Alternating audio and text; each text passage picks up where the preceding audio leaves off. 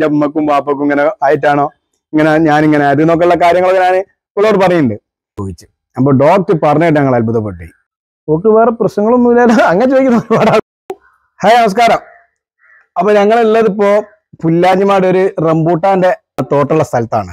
നമ്മളെ സുഹൃത്തിന്റെതാണ് ഇവിടെ റംബൂട്ടാണ്ട് അതുപോലെ തന്നെ മീൻ പിടിക്കുന്ന പിന്നെ കുളമുണ്ട്. നല്ലൊരു ബ്രിഡ്ജ് ഉണ്ട് അവിടെ അതിമേലൊക്കെ ആയിരുന്നു നമ്മൾ ചൂണ്ടലിട്ട് മീൻ പിടിക്കുകയൊക്കെ ചെയ്യാം. അപ്പോൾ ഉണ്ടാക്കണം. മോളും വാ. ആയിക്കോട്ടെ. ഇത് മോളും കൊടുക്കി ഇത് വെച്ച്. ഇതാണോ റംബൂട്ടാൻ? നല്ല മധുരമുള്ള റംബൂട്ടാൻ ഉണ്ടോ? താമരശ്ശേരി പുല്ലാനിമാട് എന്ന സ്ഥലത്താണ്.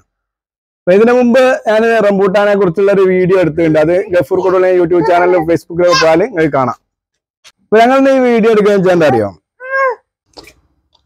അപ്പൊ അത് കല്യാണത്തിന്റെ സമയത്ത് ഞാൻ പറഞ്ഞല്ലോ ഞങ്ങൾ പറഞ്ഞല്ലോ. പിന്നെ എന്താണ് ഇന്നെ പോലെ ഒരാളെ കല്യാണിച്ചതും കൊണ്ട് മക്കളൊക്കെ ഉണ്ടാകാൻ അവന്റെ മാതിരിയായി പോകുന്നൊക്കെ പറഞ്ഞല്ലോ. അപ്പൊ ഞങ്ങൾക്ക് മൂത്ത മോന് മൂത്ത മോനെ പ്രസവിക്കാനായപ്പോ പിന്നെ പല ആൾക്കാരും പറഞ്ഞതായിട്ടുള്ളത് ബാത്തുവിന്റെ മൈൻഡിലുണ്ടല്ലോ അപ്പോൾ അപ്പൊ പിന്നെ എന്താ പറയാ നമ്മൾ വയറ്റുണ്ട് എന്നൊക്കെ കേട്ടാൽ തന്നെ ആൾക്കാർ പറയും എന്തെന്ന്? ഒക്കെ ഹൈറാട്ട് ഹൈറാട്ട് എന്നൊക്കെ പറയും. അപ്പൊ സ്വാഭാവികമായിട്ട് എല്ലാവരും പറയുന്ന ഒരു സംഭവങ്ങളാണ്. എന്നാലും പാത്തു ഉണ്ടാക്കി അറിയാം? ചെറിയൊരു ഒരു പേടി ഉണ്ടായി എല്ലാവരോടും ഇങ്ങനെയൊക്കെ പറയുമ്പോ ഉണ്ടാവല്ലോ സ്വാഭാവികമായിട്ടും. ഞാൻ ഇപ്പൊ വെച്ചു കേട്ടോ അത് തിന്നിട്ട് വെച്ചു കേട്ടോ അങ്ങനെ പിന്നെ എന്താണ്? ആ സമയത്ത് ഒരു ഇതുണ്ടല്ലോ. അപ്പൊ എന്നോട് ഇങ്ങനെ പറഞ്ഞു നമ്മൾ ആ ഡോക്ടറോട് ഒന്ന് ഇതിനെ കുറിച്ചൊക്കെ ചോദിച്ചു നോക്കാം. അപ്പൊ ഞാൻ എന്റെ ഒരു സുഹൃത്തിനോടൊക്കെ സക്കരിയാണ് സക്കരിയ സുഹൃത്തുണ്ട്. അവന് ഗൾഫിലാണ് അപ്പൊ ഞാൻ ഇങ്ങനെ കാര്യം ഇങ്ങനൊക്കെ സംഭവം ഉണ്ട് എന്നൊക്കെ പറഞ്ഞപ്പോ ഞാൻ പാത്തൂന് ചെറിയൊരു പിന്നെ മനസ്സിലൊക്കെ ഒരു പേടി എന്നൊക്കെ അങ്ങനെ പറഞ്ഞപ്പോ ഓ ഓൻ പറഞ്ഞു ഞാൻ എന്നാ ഇവിടെ ഉള്ള ഒരു ഡോക്ടറോട് ചോദിച്ചു അവിടെയാണ് അങ്ങനെ ഗൾഫിൽ ഒന്ന് ദുബായിന്ന് പിന്നെ അവിടെ ഒരു ഡോക്ടറെ വിളിച്ച് കാര്യങ്ങളൊക്കെ ചോദിച്ചപ്പോ ആ ഡോക്ടർ പറഞ്ഞ അതേ സംഭവങ്ങളാണ് ഞങ്ങൾ ഇവിടുന്ന് ചോദിച്ചപ്പോൾ ഞങ്ങൾ താമശ്ശേരി ഗവൺമെന്റ് ഹോസ്പിറ്റലിലായും കാണിച്ചത്.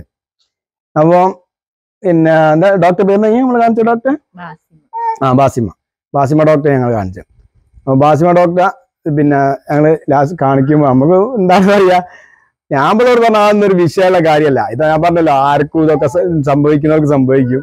അല്ലാത്തവർക്ക് പിന്നെ എന്താ പറയാ നമ്മളെ എന്റെ ഉമ്മക്കും പാപ്പക്കും ഇങ്ങനെ ആയിട്ടാണോ? ഇങ്ങനെ ഞാനിങ്ങനെ അത് എന്നൊക്കെയുള്ള കാര്യങ്ങളൊക്കെ ഞാൻ ഉള്ളവർ പറയുന്നുണ്ട്.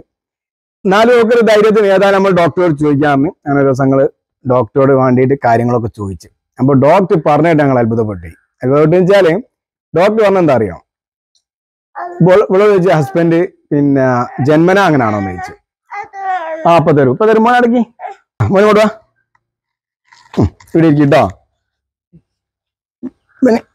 ഓക്കെ. കാരണം റംബൂട്ടാൻ.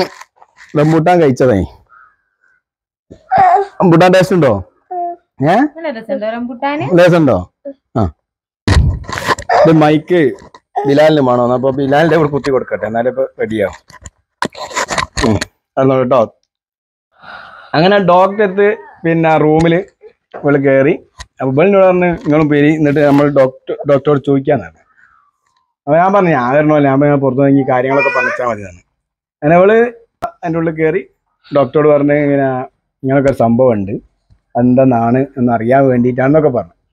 അപ്പോൾ ഡോക്ടർ പറഞ്ഞത് പിന്നെ എന്റെ ഹസ്ബൻഡ് എങ്ങനെ പിന്നെ ജന്മന ഇങ്ങനാണോ എന്ന് ചോദിച്ചു. അപ്പോൾ നല്ല ജന്മന എല്ലാവരും മൂന്ന് വയസ്സ് ആയപ്പോൾ ചെറിയ പനി വന്ന അങ്ങനെയാണ്. ഞങ്ങളൊരു പേടി പേടിക്കേണ്ട. ഏ? നിങ്ങളൊരു പേടിയും പേടിക്കേണ്ട. ജന്മന ആയാലും അങ്ങനെ ഒന്നും ഉണ്ടാവുകയൊന്നുമില്ല. എന്നാലും പറയാണ്. ഇത് എന്തായാലും ഉണ്ടാവില്ല. പിന്നെ അങ്ങനത്തെ സംഭവങ്ങളൊന്നും ഉണ്ടാവില്ല. പിന്നെ ഒക്കെ ദൈവം തരുന്നതാണല്ലോ. എന്റെ ഹസ്ബൻഡ് ഇങ്ങനെ ആയതുകൊണ്ട് അങ്ങനെ സംഭവിക്കും എന്നുള്ളതല്ല. നമുക്ക് നല്ല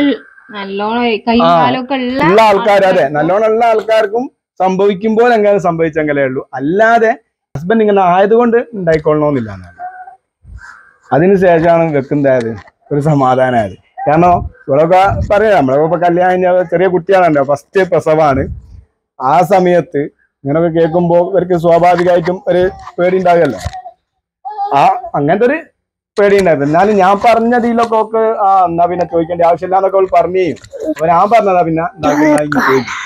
ഞാൻ പിന്നെ എനിക്ക് ഒന്നുകൂടി ഒരു സമാധാനം ഫസ്റ്റ് പ്രസവം കൊണ്ട് നമുക്ക് എന്റെ ആളെ സന്തോഷം ഇതൊക്കെ ഉണ്ടാവുമല്ലോ. അങ്ങനെ ഞാൻ ദിവസം അവളെ വീട്ടിൽ പോകും അങ്ങനെ ഒരു ദിവസം ഞാൻ അവളോട് പറഞ്ഞു ഇന്ന് ഞാൻ അങ്ങോട്ട് വരുന്നില്ല. നാളെ ഞായറാഴ്ചയൊക്കെ അല്ലേ? എന്നുള്ള രീതിയിൽ ഞാൻ അവളോട് സംസാരിച്ചപ്പോൾ പറഞ്ഞു ഓ ആയിക്കോട്ടെ പറഞ്ഞ് ഞാൻ അന്ന് ഇവളെ വീട്ടിൽ പോയില്ല. അപ്പൊ അന്ന് രാവിലെ തന്നെ ഇവൽ ഞാൻ എണീക്കുന്നതിന് മുമ്പ് എന്നെ വിളിക്കുന്നുണ്ട്. ഇങ്ങനെ ചെറിയൊരു വേദന ഉണ്ട്. അതുകൊണ്ട് എന്താ ചെയ്യാന്ന് വെച്ച്. ഞാൻ പറഞ്ഞു എന്നാ നിങ്ങൾ അവിടെ പെട്ടെന്ന് ഒരു വണ്ടിയൊക്കെ വിളിച്ചങ്ങ് പോരി. ഞാൻ ഇവിടുന്ന് ഹോസ്പിറ്റലിലേക്ക് വരാന്ന് പറഞ്ഞു. കാരണം ഞാൻ അവിടെ എത്തുമ്പോഴേക്ക് നമുക്ക് പെട്ടെന്ന് ഇതിനെക്കുറിച്ച് എന്താ ആദ്യമായിട്ട് ഉള്ളതാണല്ലോ. ആദ്യമായിട്ട് ഉള്ള സംഭവമാണല്ലോ. അപ്പോ ഞാൻ അവരോട് പറഞ്ഞു നിങ്ങൾ വണ്ടിയൊക്കെ വിളിച്ചു ഞാൻ ഇവർ ഓട്ടോ ഒക്കെ വിളിച്ചാണ് പോകുന്നത് അല്ലേ? നിങ്ങൾ അവിടെ എത്തിയാറില്ലേ ഞാൻ അടുത്ത് അങ്ങനെ ഇവർ ഹോസ്പിറ്റലിൽ എത്തിയാറാണ് ഞാൻ. ആ അതെ. ഞാനും എന്റെ അമ്മയും അവിടേക്ക് പോയി. ഹോസ്പിറ്റലിൽ പോയി. അപ്പം പിന്നെ അവർ വരുന്നതിന് മുമ്പ് ഞങ്ങൾ അവിടെ എത്തിക്കുക അപ്പൊ ഞാൻ എന്റെ വീട്ടിൽ നിന്ന് ഇവിടെ വീട്ടിലേക്ക് പതിനെട്ട് കിലോമീറ്റർ ഉണ്ട്. അങ്ങനെ അവിടെ കൊണ്ടുപോയി. അപ്പൊ വേദന ഒക്കെ പിന്നെ അധികമായി. അപ്പൊ അന്ന് ചിലപ്പോ രാത്രി തന്നെ ചിലപ്പോ പ്രസവം ഉണ്ടാവും എന്ന് പറഞ്ഞു ഡേറ്റിന്റെ പത്ത് ദിവസം മുമ്പ് അല്ലേ? ആ പത്ത് ദിവസം മുമ്പാ. അന്ന് രാത്രി ഞാനൊരു ചൂടുവെള്ളം എടുക്കാൻ വേണ്ടി പുറത്തു പോയതാ. പുറത്ത് പോയി ഇങ്ങോട്ട് വന്നപ്പോൾ ഉണ്ട് പെട്ടെന്ന് ഇവിടെ അമ്മ ഉണ്ട് പറയുന്നത്. ഓപ്പറേഷൻ വേണം എന്ന് പറഞ്ഞത് ഞാൻ ചെന്ത് ഓപ്പറേഷനാണ് നമ്മൾ കാരണം വെച്ചാൽ വേദന കിട്ടി നമ്മൾ പ്രസവിക്കാൻ കൊണ്ടുവന്നത് അതിന്റെ മുമ്പ് നമ്മളോട് ഓപ്പറേഷൻ ഡേറ്റ് ഒന്നും പറഞ്ഞില്ലല്ലോ.